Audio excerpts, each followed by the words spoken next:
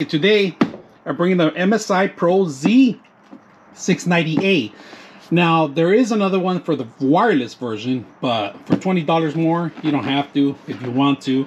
This is going to be a desktop with uh, Ethernet, DDR4. Don't have a DDR5, it's very hard to get, so I sticked up with DDR4. Windows 11 compatible, TMP 2.0, which this is BitLocker encryptions. Um, ready for 12th gen card so I'm going to take a look at it and see what you get. So let's go ahead and open it up. Look at the actual motherboard if you can see it.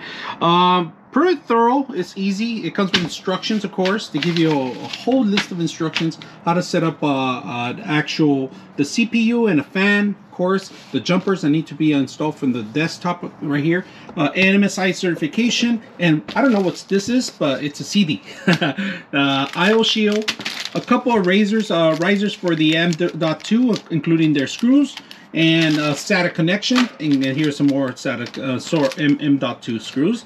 Now, let's take a look at it, and I'm going to switch out camera so you guys can see a little bit more thorough inside. All right, we got four memory slots, if you can see that. Real simple. Uh, DDR4 only, all right. Uh, we got the slot for the 12 um, generation compatible ready. Uh, we got our connections for the uh, the CPU connection, of course.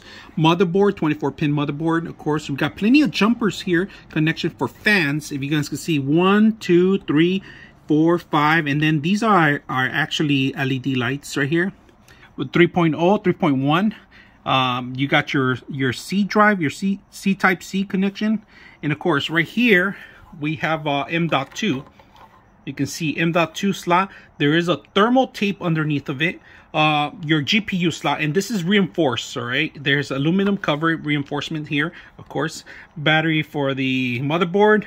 You got one, two, and three slots already ready to go. Micro, there's there's a slot 4X, of course, that you can see. Um, we got another connection here for the actual another another type of um, USB, if you guys can see, another 3.1. Uh, we got the jumpers that all go here. All the connections have to connect from here. You got your SATA connections all embedded in here, of course. And you got plenty of connections for other things. Of course, we got more for fans and other types of jumper here. And that's what we're going to do for the RGB lighting. If you guys can see it, it tells you right there RGB one, right? So you got to know how to connect these. These are proper for the motherboard uh, from 1 to 12. Uh, I think it's a 5 volt on this one and the other one's 12 volt. I have to look at the manual just to make sure that I'm not connecting the wrong course. But overall, the motherboard's a basic motherboard. Uh, you're able to run a lot of things on it. Uh, for 12th generation, it's not bad. Uh, if you want to overclock it, there's limitations on this, but you can do it. And let me show you all the slots that you you have available. You have one slot for the M.2, two right here, and if you can see it, this actually stretches here.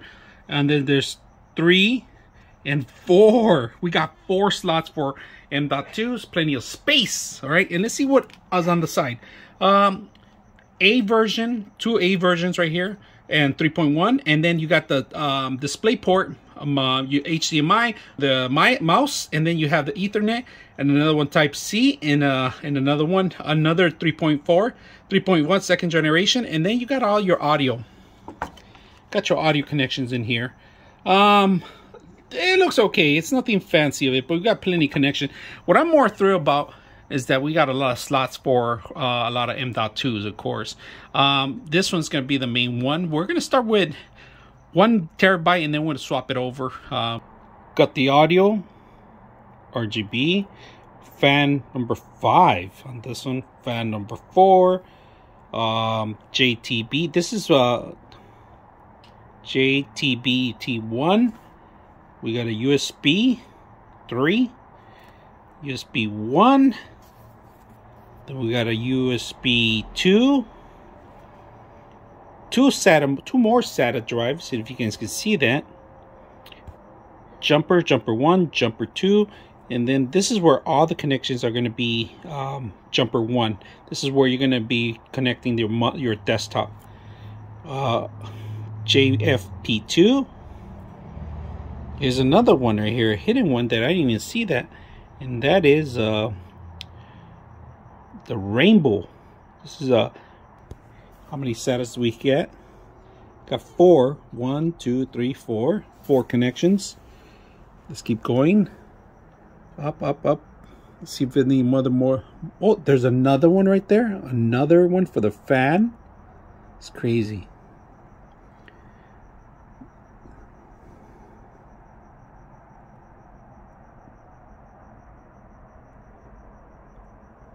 More fans.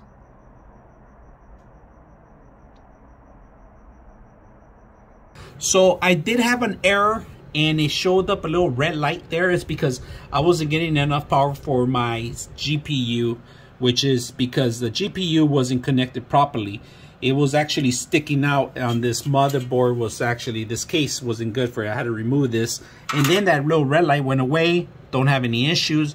Uh, HyperX is working well with the actual motherboard.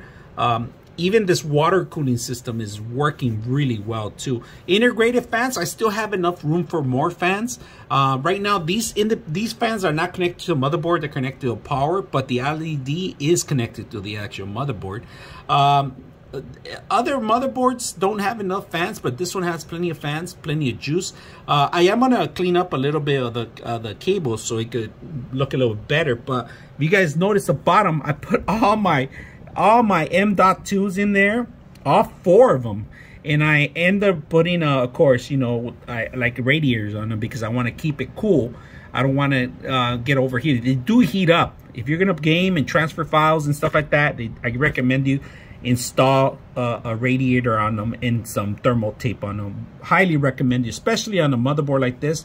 And if you notice, there's still fan space for more fans uh, able to move everything around in the in the size of the actual motherboard fit for this for this um, uh, tower. Uh, other than that, the motherboard fits in perfect. It's taking the latest and greatest of the GP uh, G, uh, CPUs, and it's able to work well with any kind of water cooling. Um, in fact, it's working um, too well. it's actually telling me how cold it is and everything, and everything looks really well made. So haven't had an issue at all. Installing, you do need to download the drivers. It comes with a CD. The drivers was a little headache, so you have to download them to USB, have them separate, and highly recommend you put them on a USB prior to this because if you don't have a CD player, you're going to need that so you could get the Ethernet to work. Now, if you want to spend $20 more, you could get the wireless feature built into the system. That is up to you, but I unfortunately I didn't get that option. I didn't do that. I went straight for the Ethernet because that's what I'm going to be doing, Ethernet. If I want a USB uh, wireless, I'll just put a USB drive or something simple. So